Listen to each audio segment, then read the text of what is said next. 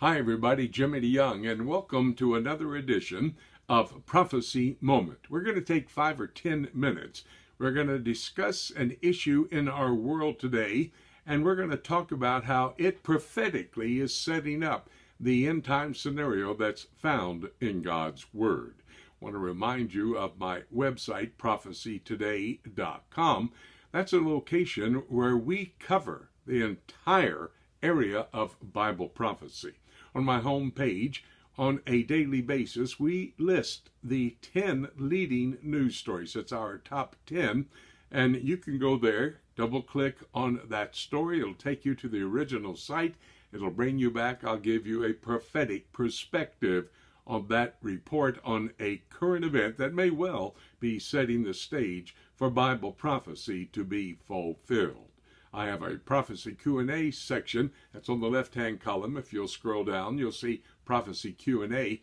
There you can go and get your question, your prophecy question answered. And if there's not an answer or the question that you have in mind, send me an email at jimmy at prophecytoday.com and we'll make sure you get an answer as soon as we can get it to you. That's my website, prophecytoday.com. Don't forget, we have a prophecy bookstore, many great materials that will help you in your study of Bible prophecy. Well, the headline we're going to be looking at today America's national debt is setting the stage for the appearance of Antichrist.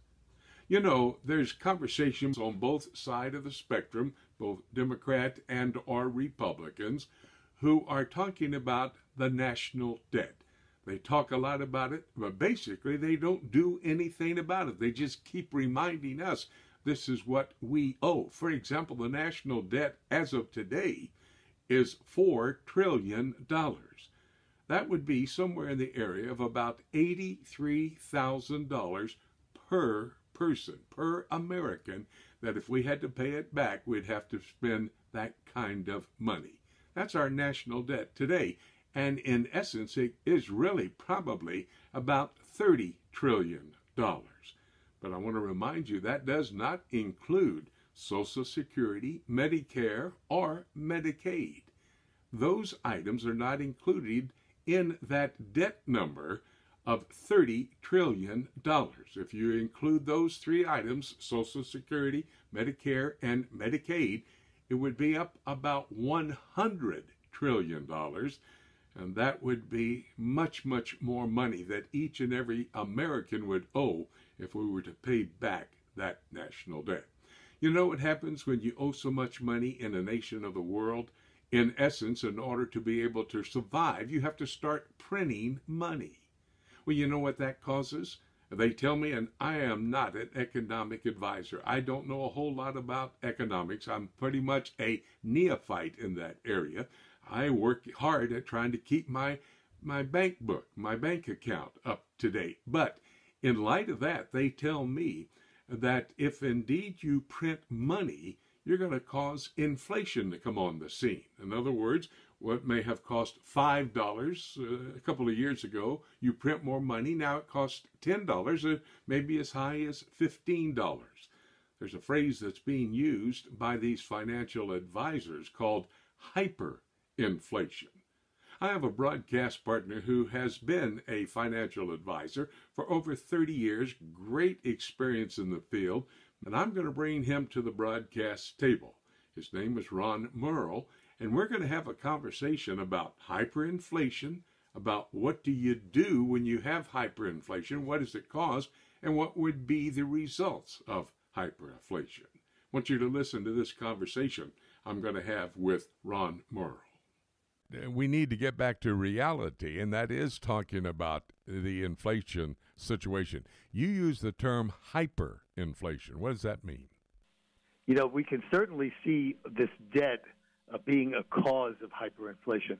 When a nation builds up massive debt, the world can lose confidence in that nation's ability to pay back what it borrows. When that happens, the nation's currency will often plunge, and then it takes more and more currency for the people of the country to buy goods and services. Hyperinflation is not like inflation, Jimmy, that builds over time. Hyperinflation actually happens suddenly. Is that what you're talking about when uh, the old phrase has been used? Uh, it'll take a, a, a wheelbarrow full of money to be able to buy a loaf of bread. Is that what we're talking about? Hyperinflation? Yeah, that's right, Jimmy. After World War One, Germany's hyperinflation was so severe that the nation was wide open for a strongman leader to ride in on a white horse to save the day. Germany's debt of 132 billion gold marks, or about 269 billion U.S. dollars today, was so crushing it took 92 years to pay it off. And I understand that uh, with the, this situation economically there in Germany, right at the end of World War One, the mid 20s, in the beginning of uh, the 1920s, we're talking about a situation that brought forth a man named Adolf Hitler. I read what Winston Churchill had to say about Hitler. He made the statement you either have a savior who brings you out of this economic chaos, or you're going to have a tyrant. And that's pretty much what happened, wasn't it, Ron? Yes, it was, Jimmy. Uh, Germany was in such dire straits, they were open for anyone to come in that had a plan, anyone that, that had an idea on how they could get the country back on its feet and become an economic power again. And uh, certainly that led to uh, Hitler's rise, uh, which is uh, absolutely uh, parallel to Revelation 6, 5 and 6. Yeah, I, I was going to say, you and I are both students of Bible prophecy. And boy, that prophetic parallel there in Revelation chapter 6, verses 5 and 6, seems to be exactly what we're talking about. And that would be, of course, happening in the tribulation period. Let me remind our listeners that was the location where it says a measure of wheat for a penny, three measures of barley for a penny. Now, I understand wheat would be enough food to take care of a, a family for a day or barley would be animal food for a day, but uh, it's talking about a penny. And at that point in time, a penny actually was a day's wages. That's really hyperinflation, is it not, Ron? Yes, it is, Jimmy. It's absolutely correct. Talk to me about the fact that since in World War One, at the end of World War One, this type of economic situation turned to Hitler for the salvation from this economic chaos that was happening in their part of the world. Now, when we talk about hyperinflation, measure of wheat for a penny, three measures of barley for a penny, in the tribulation period that comes after the rapture of the church, this economic situation is certainly setting up for the Antichrist to come on the scene. Would you agree with that, Ron? Yes, I do, Jimmy. And I think what we see with this type of hyperinflation, we see it actually in Venezuela today. We have a form of hyperinflation going on there as the country's currency fell apart. So we have a real life example of what it looks like right now, going on in the world right now. That was a very informative bit of information that we got from Ron. May I take just a moment as we conclude Prophecy Moment today to bring several things to your attention he did bring out the phrase hyperinflation, and he gave us somewhat of a definition of hyperinflation. But what I noticed the most when he was talking about it is that it happens instantly. It's not over a period of time, it comes about pretty quickly. And then we talked about the fact that after World War I, back in the 1920s, Germany had hyperinflation. And because of that, they were about to have to destroy the entire state of Germany because they economically could not go on. They had hyperinflation. But what happened at that point in time? Well, that brought a man named Adolf Hitler to power. He had promised that he could brain Germany out of this economic chaos. The man Winston Churchill made a statement about Adolf Hitler. He said to the Germans, he's either going to be a savior or a tyrant. Well, we all know that he became a tyrant. Now, I think there is a prophetic parallel in the tribulation period, which is going to happen after the rapture of the church for a seven year period of time. And at the beginning of that seven year tribulation period, you would want to go to the book of Revelation, chapter 6. Go with me, take your Bibles. Let's go over to Revelation chapter 6. Oh, by the way, as you're finding your place in the Bible, let me tell you, I have a couple of items that will help you study Bible prophecy, and especially the book of Revelation. This is a DVD documentary, my walk through the book of Revelation, and I do it chronologically. I do it on the ground there in Israel. Be a great study helping you to understand how chronologically the book of Revelation unfolds. Now, this is a, a video that will help you. Here's a five hour audio series on CD. This is my teaching. And remember, I said it unfolds chronologically, not numerically.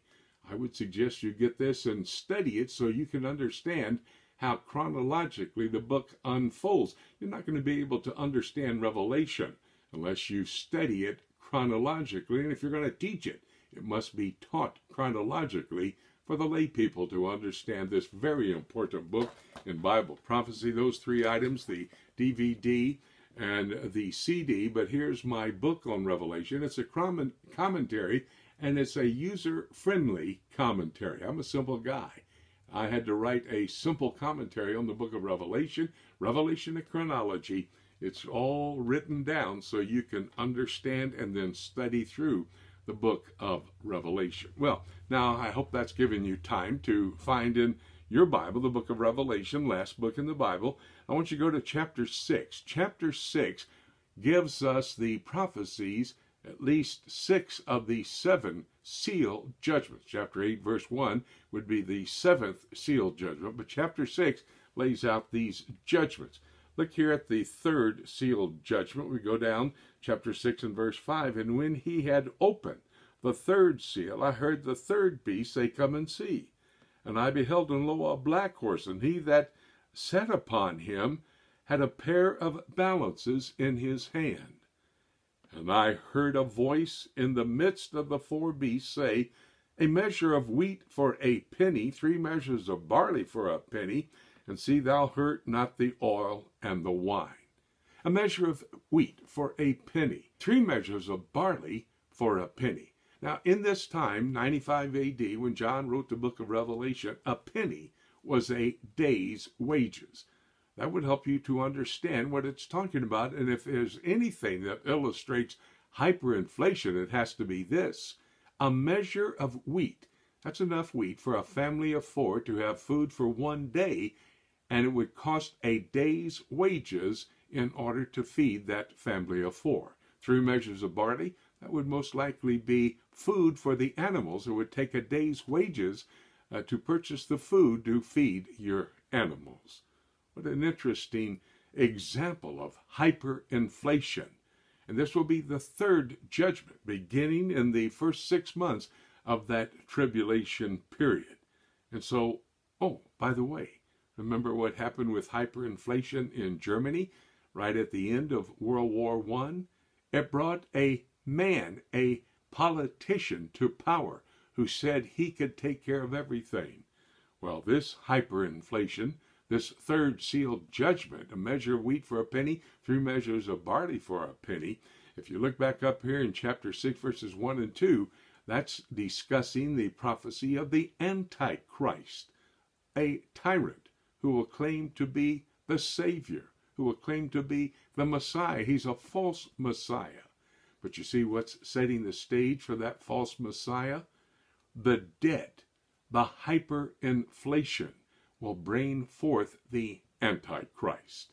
I told you at the beginning of the broadcast, America's debt is setting the stage for the Antichrist to come on the scene.